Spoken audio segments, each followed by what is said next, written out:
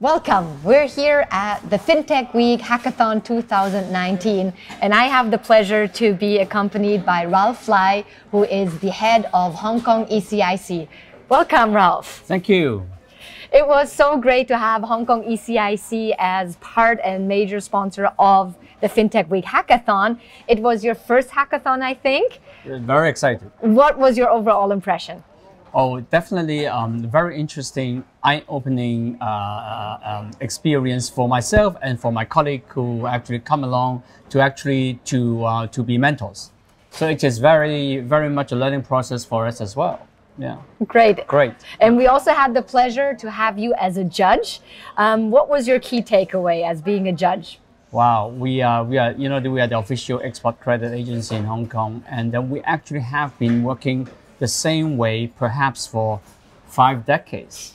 And therefore, hearing from those eager young minds is actually very much of um, um, a process that we actually start asking ourselves can we do things differently? And I look at some of the solutions they propose, they are really good uh, suggestions. And that should be a lot of food for thought for us. That is wonderful to hear. So we had the task in 36 hours that we pass on to the teams to innovate a 50 plus year old industry. Right. Um, so looking at the prototypes, were there any solution that surprised you? It, uh, many of them certainly did. Um, we were just chatting uh, that whether there are things that we have never thought of, and there are plenty. So actually, I think the teams gave us very good hints on how we can look. Sometimes we look at certain directions for a long time, maybe we should look elsewhere. And sometimes I see some common characteristics of solutions maybe to a bank, but also would be workable for us as well. Right. Mm. And the objective obviously was to look into potential solutions and then also award the winning solution. But overall, the objective is also to go into a collaborative approach. Are there some companies you can see Hong Kong ECIC going into a POC or collaborative uh, approach? I can't say for certain at this point, but I do hear some very interesting solutions. Some of them relates to building a blockchain, some of them using API, and I do I do find both solutions very uh, uh, interesting.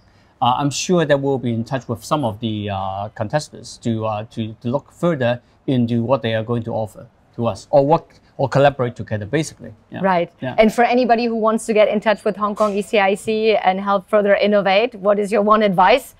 Oh, to be to keep an open mind uh, because we are actually, well, at the moment, I think I can say like this: we're actually, re, you know, unlearning and relearning uh, as as we're moving to our sixth uh, decades. So I think both of the parties should keep an open mind to see how we we can create something together.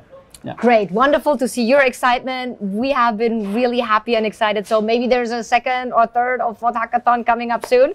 Oh, yeah. Well, my, my colleagues is already talking about it. Fantastic. Yeah. Thank you so much, Ralph. And uh, once again, congratulations for this wonderful FinTech Week Hackathon 2019. Thank you. If I may say so. I mean, uh, I think you guys throw a very, very uh, impressive professional uh, gathering for us. Thank you. Thank you. Thank you, Thank Ralph. You. Thank, Thank you. you.